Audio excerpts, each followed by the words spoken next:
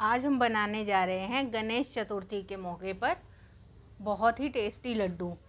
बहुत ही कम इंग्रेडिएंट्स के साथ बन जाते हैं और क्योंकि ये गणपति का स्पेशल प्रसाद है तो आप ये ज़रूर बनाएँ। चलिए स्टार्ट करते हैं।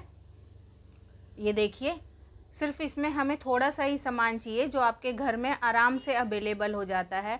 कुछ भी हमें बाहर से नहीं लाना पड़ेगा। हेलो दोस्तों, मैं नीलम आपका स्वागत करती हूँ आपके अपने चैनल दिल्ली की कुकिंग में।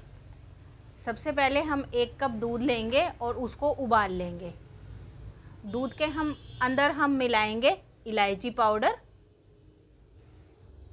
इलायची पाउडर से मीठे का जो टेस्ट होता है, वो बहुत ही बेटर हो जाता है। तो इलायची पाउडर हमने डाला है और ये इलायची वाला हमारा दूध उबल गया है। इसके बाद हम डालेंगे इसमें एक कप नारियल का बुरादा।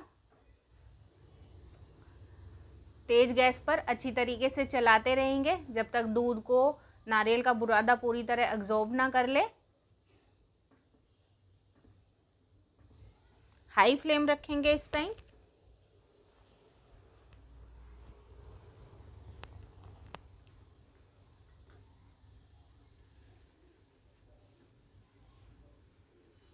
और अच्छी तरीके से चलाते रहेंगे इसको। ये देखिए। और अब हम इसमें मिलाएँगे आधा cup milk powder. Milk powder आप कोई से भी ब्रांड का ले सकते हैं। अगर आप ज़्यादा नहीं लेना चाहते तो वो जो छोटे छोटे पाउच मिलते हैं, आप उस तरीके के तीन पाउच डाल सकते हैं। गैस मंदी कर देंगे और अच्छी तरीके से चलाते रहेंगे इसको। तीनों चीज़ें आपस में बहुत अच्छी तरह मिक्स हो जानी चाहिए। दूध, नारियल और मिल्क पाउडर। अब हम इसमें दो चम्मच घी ऐड करेंगे। इसके, इससे जो इसका सॉफ्टनेस है, वो बहुत अच्छी आती है।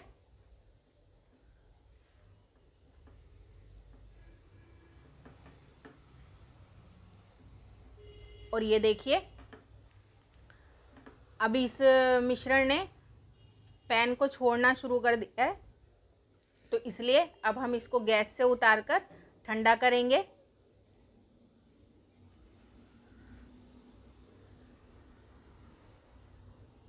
जब तक पैन ठंडा ना हो जाए, जब तक इसको चलाते रहें, और अगर आपने पैन में नहीं करना तो किसी दूसरे बर्तन में निकाल लेंगे इसको।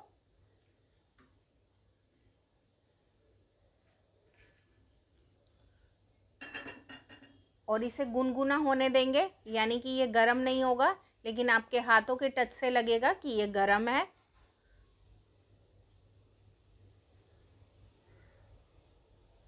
अब हम इसमें ऐड करेंगे आधा कप बूरा।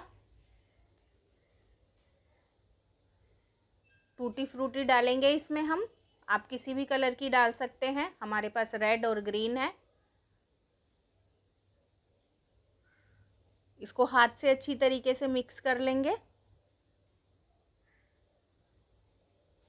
गरम में कभी भी बूरा ना डालें, नहीं तो वो मेल्ट हो जाती है और बनाने में बहुत दिक्कत आती है। तो आप कभी भी गरम में ना डालें, जब वो बिल्कुल हल्का सा लुक वॉम रह जाए, तभी उसमें मीठा, चीनी या बूरा डालें।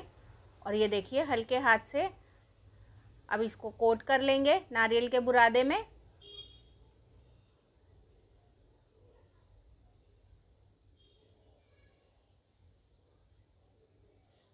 आप साइज़ अपने हिसाब से कम या ज़्यादा बना सकते हैं।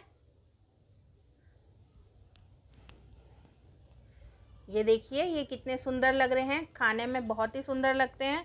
अगर आपको मेरी रेसिपी पसंद आती है गणपति के लिए तो आप इस चैनल को सब्सक्राइब ज़रूर करें। साथ में दिए हुए बेल आइकन के बटन को दबाएँ, ताकि मेरी हर रेसिपी की नोटिफिकेशन आप लोगों तक पहुँच सके।